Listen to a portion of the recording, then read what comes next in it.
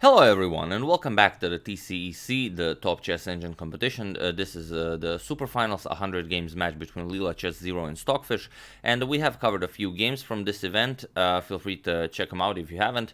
And uh, while we were busy uh, enjoying our Capablanca saga, uh, Stockfish equalized in, score and this is now game 86. So after 85 games, the score is a tie. In the previous game, Stockfish played with the white pieces in this exact same line. As you all know, uh, the openings are uh, predefined. So first Leela will have a certain opening with the white pieces, then Stockfish has the, the exact same opening with the white pieces to see uh, how each of them fares uh, in different openings. Uh, and it, it's a very interesting game. I'm sure you'll enjoy it as it features one of the most exciting lines of the of the King's Indian Saemisch. And uh, well, without further ado, let's just check it out. Uh, Leela says, has the white pieces, as we've said. We have d4, knight to f6, c4, g6, uh, knight to c3, and as we already mentioned, uh, the king's Indian defense is on the board. We have e4, d6, the, this is the standard line, f3, the Saemisch variation now. Uh, we have castles, uh, bishop to e3, and now e5. We have d5 by white, grabbing more space in the center, and now knight to h5. Preparing f5, uh, but also in some lines uh, preparing this queen to h4 check. Uh, queen to d2, and now this is one of those lines where we do have queen to h4 check. And this line has been played many times between human players as well. And black, uh, white has uh, several options here. Uh, king d1 is an option, bishop to f2 blocking is an option, then the queen will just retreat, but the bishop will be somewhat misplaced here. There will be no bishop to h6 ideas with exchanging of the dark square bishop. so g3. Uh, this is, has all been pre predefined. Uh, knight captures on g3. Now, of course, you cannot capture because you lose the rook on h1, uh, but queen to f2. And now uh, you could uh, try something like knight f5, so uh, the knight would defend the queen on h4, but white would simply, sorry, not that, white would simply capture the knight on f5, and white would be up a piece. So here, white, black actually captures two pieces and two pawns for a queen. We have knight captures on f1, queen captures on h4 and knight captures on e3. So grabbing both of the bishops, uh, and here we have king to e2. Uh, making room for this rook to come into the game. Also, the queen can now uh, retreat. We have queen to e1, but also it pushes the knight back. We have knight captures on c4, and now, uh, again, this exact same position has been reached uh, numerous times uh, between human players, uh, and here knight to h3 was uh, the main move, and this is exactly what Stockfish played when Stockfish had the white pieces uh, in this line against Leela. And then the game continued, knight captures, rook b1, and so on and so on. And Stockfish uh, drew that game where Stockfish had the white pieces against Leela Chess Zero. Here, after knight captures on c4, uh, Leela doesn't go for this uh, line that is mostly used. Leela goes queen to e1. And this is a new move in this position, already on move 13. Uh, so let's see how, how this unwinds. We have f5 by Stockfish, uh, h4 now by Leela, and now f captures on e4. Uh, we have knight captures on e4 and c6 now. Seems like weakening of the d6 pawn, but for the moment you cannot take advantage of it. With, for example, b3, you want to kick the defender of the d6 pawn, uh, but uh, black will not move it. Black will just capture here and you still cannot capture the knight defense, captures, captures, uh, and here uh, bl black would just be better. Pawn captures, bishop g4, black will get some very nice development, knight is coming to c6 to d4, uh, the other rook is coming into the game as well, so black will just be just be better here. So after c6, we have queen to d1. Now, perhaps if this is captured and the knight is kicked away, the queen will also be eyeing the d6 pawn. And also queen to b3 might not be uh, a, a bad opportunity for the queen to go to. Uh, we have bishop to d7, and now not immediately going for this, like we mentioned, because knight captures and b3 runs into knight d4 check, uh, which simply delivers check and blocks the queen's attack towards the d6 pawn. So here, first king to, king to f2 by Leela, uh, now comes bishop to f5, and now knight g3. Uh, knight captures on b2 attacks the queen. Queen b3 attacks the, both knight and the b6 pawn, uh, but Stockfish has everything calculated as the bishop guards d3. First knight d3 check, king g2, and now comes knight to c5, attacking the queen but also defending the b7 pawn. Queen back to d1, and now bishop back to d7. Uh, black wants to keep an eye on this pawn. If white ever does capture here, black wants this bishop to be on this diagonal, slicing all the way to g2. Uh, and here, yeah, okay, if you play this, then like we said, uh, there will simply be too much pressure along along this uh, line. Uh, even if the queen captures, there's still knight here. The, the knight is coming into the game. For example, rook d1, now e4, busting open the, this little uh, bit of king's defenses that's left. Uh, f captures, knight captures. You could go knight captures, bishop captures with check, attacks the rook. king h2, and now rook a e8 uh, will be uh, simply too much for for uh, white to handle. Bishop to e5 is the idea of winning the queen, but even if the queen moves, this check will be devastating, and so on and so on. Black would be winning here. So here, there's no time to go for this d6 weakness yet. h5 by Leela. Uh, we have knight b to a6, now finally making room for this rook to enter the game, rook to c1, and now rook to f6. Uh, instead of just bringing rook into the game, uh, we have uh, the idea of doubling rooks along the, e the f file, which makes sense. Uh, we have knight 1 to e2, and now rook 8 to f8, stockfish doubles uh, on the f file, and now you have to defend the f3 pawn, so first h6, kicking the bishop back, and now the rook is no longer needed on h1, rook to f1. Uh, we have g5 by Stockfish, and now king to g1. And here rook captures on h6, grabbing that pawn. Uh, knight to e4, uh, and now rook to f7. Uh, we have knight 2 to c3, uh, and here we have rook to g6. Uh, we have d captures on c6, finally bishop captures on c6, and now rook to c2. Uh, we have bishop to g7 and now rook to d2. Now putting pressure against the d6 pawn. Uh, so bishop to f8. Now the bishop helps out, but uh, doesn't really matter. Leela now finally grabs it. Knight captures on d6 and now rook to f4. Uh, with the ideas of bishop to a4, uh, attacking the queen. Uh, we have knight to e2, attacking the rook, uh, but now first uh, an in-between move, bishop to a4, attacking the queen, and queen e1. And here, finally, bishop captures on d6, knight captures here, and g captures on f4 with check. King to h1, and now comes bishop to c7. No, the bishop is no longer a target, but also covers uh, the the d8 and d6 square, and the knight covers c7, so there are no uh, possible rook lifts uh, here. Uh, and here we have rook to uh, rook to h2. Uh, Leela's idea is something like uh, uh, maybe queen to h4 with some with some pressure along the h file.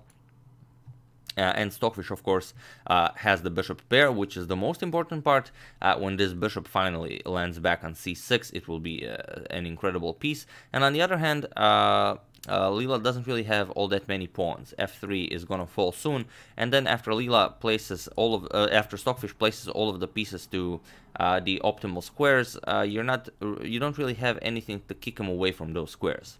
Uh, we have Knight to D7, uh, Rook to G1, and now comes Bishop finally to C6, you know, taking over this diagonal.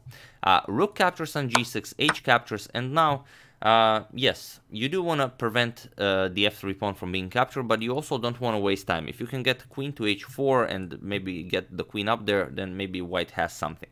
So Leela went for queen to h4 immediately. Uh, but let's see what happens if you first try something like rook to h3. Defend the f3 pawn and only then go queen h4 and then try to create some sort of an attack. Uh, then you get e4 and black is just too fast.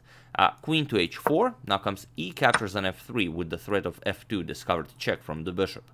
Queen h8 check, black will have to allow a couple of checks, king f7, uh, rook to h7 check, king to e6, now comes queen to g8 check, and now queen to, uh, king to f6. Rook to f7 check, king g5, and now uh, there are no more checks here, no more useful checks here, well at least.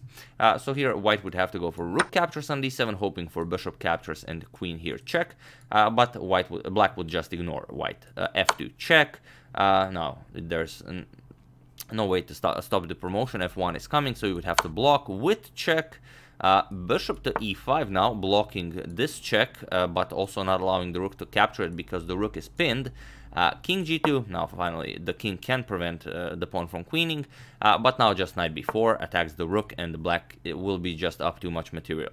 For example, queen d8 check, you could go king g4, queen c8 check, you could go king h4, queen h3 check, king g5, and now finally you will have to capture the pawn here, uh, but after knight captures, you you just have a bishop, a bishop, and a knight uh, against the queen, and the black is up three pawns. This will be completely winning for black. So there is in fact no time for rook to h3, uh, a preparation move before queen to h4. So Leela goes queen to h4 immediately. Allows bishop captures on f3, we have king g1, and now bishop uh, to b6 check. Uh, king has to go to f1 and now comes bishop to h5 the bishop now also uh, prevents any counterplay Leela might have had in mind uh, queen to e7, attacking the knight here, but now comes knight to c5. Finally, the knight returns uh, from the edge of the board and defends uh, his, his uh, you know, colleague. Uh, rook to f2, uh, and then now comes knight to f8. Uh, we have queen captures on e5. Stockfish gives up one one pawn here to activate the knight on better squares. We have knight f to e6. we have a4 here, and now comes bishop to c7, attacking the queen. Uh, queen d5 and now comes bishop uh, to g4. Uh, and now it's uh, pretty much clear what Stockfish is doing. Uh, Stockfish will want to push f3 at some point, get that bishop all the way to g3 and deliver the final blow bishop to h3. So we have rook to c2. Now with ideas of rook captures, Leela would be very much interested in giving up this rook for two knights. but first bishop to h3 check. King e2 and now comes b6, of course, defending the knight on c5. Uh, queen a8 check, we have king to f7, and now queen captures on a7. And now just king to f6, unpinning, uh, and also you want to bring the king as close as possible uh, to, to where all the action is. Uh, we have a5 here. Uh, a very nice idea, as now if pawn captures, then again rook captures on c5 becomes a possibility. Uh, but we have bishop to f5 check, attacking, the, uh, not check, it's just bishop to f5, attacking the rook. And now if the rook moves, just b captures uh, on a5 will be very nice, as the rook is no longer on the c file. So here we have rook captures on c5. Leela finally goes for this. Uh, you cannot capture with the knight. You have to capture with the pawn uh, because the bishop would be lost. So here we have b captures on c5. Okay, at least now Leela has a very nice passed pawn. But now queen to, queen to a8. We have bishop to g4 check, king to f1, and now comes f3. And now you see what uh, Stockfish has accomplished. The idea is bishop to g3 followed by bishop to h3 and it's all over. Uh, here we have queen to h8 check by Leela, and now uh, it's a very nice check, uh, because if king to f5, then Leela has uh, enough resources to draw this game. If king f5, then a6. Uh, bishop to g3, not preparing uh, bishop to h3, but okay, you cannot do it while the queen is still here. So a7, uh, knight to c7 and now comes a8 queen. And now after knight captures you don't want to capture the knight because you can allow can't allow bishop to h3 check but queen to c8 check will allow Leela to deliver a uh, you know continuously start deli delivering a perpetual uh, for example king g5 you could go queen d8 check king h5 you could go queen h8 check king here queen uh, can go back queen d8 check uh, king f5 and just uh, continue checking queen f8 uh, the king can never come to f4 because here you would just deliver queen b8 check and pick up the bishop on g3 then black no longer has an attack. If you go uh, to, the, to a light square then the knight is picked off with check and white continues just checking uh, so a very nice check, queen to h8 check, but uh, Stockfish does not have problem calculating all the lines, so king g5 instead of f5. And now the, the same idea no, lo no longer applies. Uh, we have a6 by Leela, similar but not quite the same, bishop to g3. Now Stockfish's plan is not bishop h3, uh, but... Uh, sorry about that, going about it from the other side. Bishop f5 to d3 check. Uh, we have a7, now comes bishop to f5, and here you don't have time uh, to bring a queen into the game because of bishop to d3. Uh, this is check, uh, g1, f2 check, now comes king g2, and now queen to f1 check. You will capture, queen f4 check, and after the king moves, bishop e4 picks off the queen, uh, and uh, black will be left up two pawns and end the piece. A completely winning endgame for black. so after this bishop to f5, we have queen to h1 by Leela uh, but it doesn't help. Bishop to d3 check by Stockfish, we have king to g1 and now knight d4. Again, if uh, you bring a queen into the game, then you get this beautiful, beautiful checkmate, knight e2 check, uh, king f1, and now comes knight f4, uh, a discovered check from the bishop on d3, also the bishop is covering e1, uh, you would have to move back, and now f2 is checkmate. And look at this, white has two queens, and, uh, sorry about that, white has two queens, and black is just, uh, you know, Uh, so so so uh, so outplayed white with with the two bishops, the knight, and the pawn that delivered checkmate. Uh, I might even use this as as a thumbnail.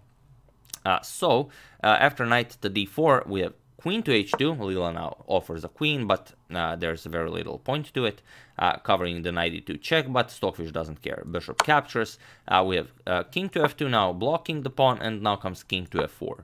Uh, and here Leela just played queen to e1, and both Leela and Stockfish agreed that uh, there was no more no more point in playing this game, that the evaluation is just too great in, in Stockfish's favor. but again, if you bring a queen into the game, it's, a, it, it's a similar idea. Bishop g3 check, king g1, uh, f2 check, uh, king g2, and now comes uh, queen to pawn to f1 queen, and this is now checkmate. so yeah, on move 64, very interesting. Uh, that's a very very nice number in in the chess world. Uh, Leela Chess Zero resigned the game, and Stockfish is now uh, on game 86, one point in the lead. Uh, so Leela has 14 more games to equalize, at least equalize this match, if not, uh, you know, planning to win it. Uh, so it will be intense uh, all, all, the way. And it's very interesting. Will now uh, this uh, this line e5, you know, queen h4 check, maybe this become popular now with the black pieces as Stockfish has defeated Leela with the black pieces and and Leela was able to uh, draw the game uh, uh, against Stockfish with the black pieces here.